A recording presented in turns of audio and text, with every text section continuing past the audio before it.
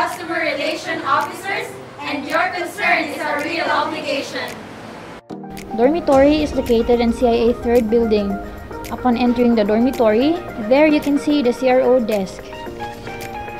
The main task of a CRO is to entertain and assist students' requests and concerns from the ward itself, Customer Relations Officer. To provide a better service to our students, we come up with this so-called Students Request Slip. So how does the Students Request Slip works? First, we let the students write their own request or concern on the request slip. Second, the CRO will sort the request slips and give and relay those requests to the assigned person.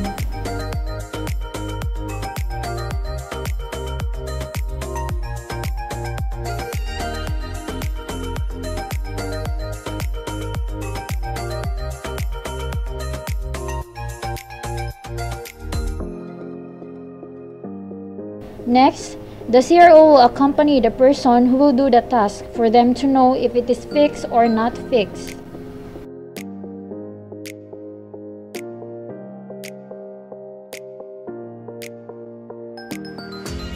Lastly, the CRO will give feedback to the student.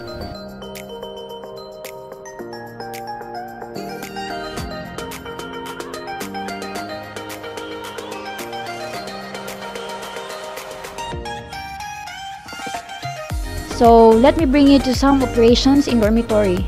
Usual students' requests are the following. First, changing of bed sheets. For dormitory students, changing of bed sheets is once every two weeks.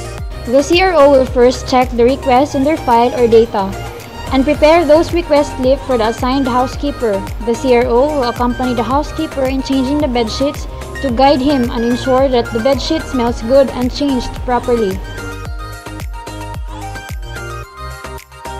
Second, room problems related with the maintenance team such as clogged sink, toilet bowl, aircon problem, exhaust fan problems, and busted light problems. Just like in changing of bed sheets, the CRO will also accompany the maintenance team in fixing some room problems in dormitory for them to know if the problem is fixed or not and to be able to give an accurate feedback to the students. Other tasks of a CRO includes checking and monitoring personal tasks like housekeeping, laundry, and maintenance team to make sure that they are all doing their task well. Third, laundry service. We have proper scheduling in our laundry. To provide an excellent service to our students, we set a schedule in releasing and receiving our students' codes. Mondays and Thursdays are scheduled for third floor students as well as for orchard students. Tuesdays and Fridays are for second floor students, Wednesdays and Saturdays are for first floor students. For Midori students, they can choose any time of the day. Releasing of our laundry is two days after the receiving schedule. For our laundry receipt, we have two copies, one for the laundry team and one for the student.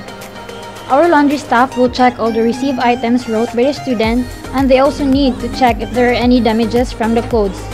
After that, they will hand a receipt copy to the student for claiming purposes.